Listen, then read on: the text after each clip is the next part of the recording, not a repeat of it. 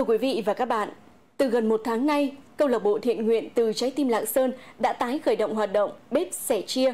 Cứ mỗi cuối tuần, bếp lại nồi lửa, nấu những suất ăn đầy đủ dinh dưỡng, gói đầy yêu thương, gửi đến những người bệnh nghèo. Không chỉ giúp người bệnh với bớt khó khăn, yên tâm điều trị, mà bếp sẻ chia còn lan tỏa những điều tốt đẹp trong cộng đồng. Cứ mỗi sáng cuối tuần, các thành viên câu lạc bộ thiện nguyện từ trái tim Lạng Sơn lại cùng nhau sắn tay vào bếp. Để có được những suất ăn đủ dinh dưỡng, an toàn, nóng hổi, kịp gửi đến những bệnh nhân nghèo đúng giờ ăn trưa. Mọi người không ai bảo ai, mỗi người một việc, luôn chân luôn tay. Người nhặt rau, vò gạo, người xào nấu, chia suất. Điều đặc biệt là thực phẩm để chế biến đều do các thành viên đóng góp và được các nhà hảo tâm ủng hộ – người góp bình ga, người ủng hộ vài ba chục trứng hay lọ mắm, bao gạo. Ai cũng muốn đóng góp chút gì đó cho những hoàn cảnh khó khăn. Mỗi chị em là làm một ngành nghề khác nhau nhưng mà đều có chung một cái tấm lòng thiện nguyện là hướng đến ờ, những cái hoàn cảnh khó khăn. Và chương trình bếp sẻ chia là một trong những cái hoạt động của câu lạc bộ. Ngoài cái sự đóng góp của các thành viên trong câu lạc bộ thì câu lạc bộ cũng nhận được rất là nhiều sự ủng hộ của các mạnh thường quân cũng như các câu lạc bộ khác trên địa bàn tỉnh. Chúng tôi rất là vui khi lan tỏa được những cái điều tích cực uh, trong cuộc sống.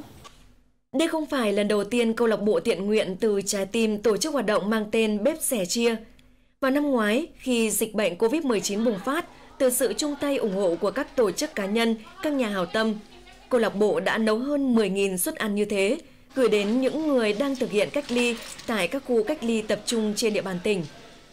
Hiện nay dịch bệnh đã được kiểm soát, nhưng nhận thấy tại các bệnh viện, trung tâm y tế trên địa bàn, nhiều bệnh nhân có hoàn cảnh khó khăn mắc bệnh hiểm nghèo lại phải điều trị dài ngày. Với mong muốn sẻ chia phần nào với họ, bếp sẻ chia lại một lần nữa nổi lửa, nấu hàng trăm suất ăn mỗi dịp cuối tuần.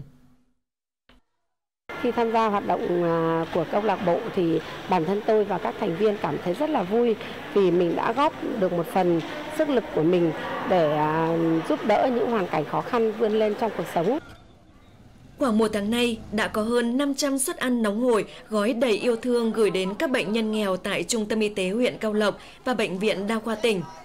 Giá một suất ăn chẳng đáng là bao, nhưng đó là tất cả sự sẻ chia ấm áp tình người, thể hiện tinh thần tương thân tương ái của những chiếc lá lành đến với những hoàn cảnh khó khăn.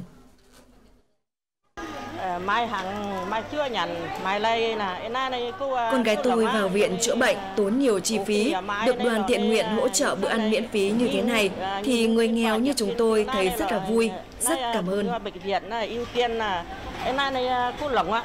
tôi được gặp à, đoàn từ thiện đã ủng hộ tôi suất cơm bữa trưa hôm nay.